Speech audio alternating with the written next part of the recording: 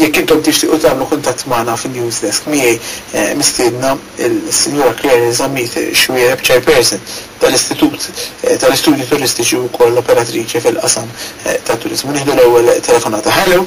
Hello Antoine, skużani barra mis-suġġett illum. Ħa nitkellem jekk ma jimpurtax. Kemm jista' jkun nitolbok iżżomm mas-suġġett, però jekk għadek intervjent barra mis-suġġett. Le le ġust seħħ fil-qosor. Ilbieraħ iddiskurs tajt ħafna ruħi, bdiet fi Brussels, nies Laburisti kienu kollha kontra l-Ewropa, Kulħadd jixxala u jiekol hemm, kollha kienu kontra l-Ewropa li kien għalihom mhux qegħdin hemm aħna u aħna li ħdimna għall-Ewropa waħda l-ewwel waħda jiena qatt ma tlajt sa Brussels jiġifieri u u niddgustajt ruħi hawn u b'Tony Zalt li tela' jipprotesta ġo Brussels nifsu jistħi għandna gvern bħal da bil-għaqal kollu hawn dal-ġid kollu f'dal-pajjiż li qatt pajjiż rew qiegħ ħafna ikbar minna m'għandhom livell tal-għixien bħal m'għandna aħna bħalissa imissu jistħi Tony Zalt iva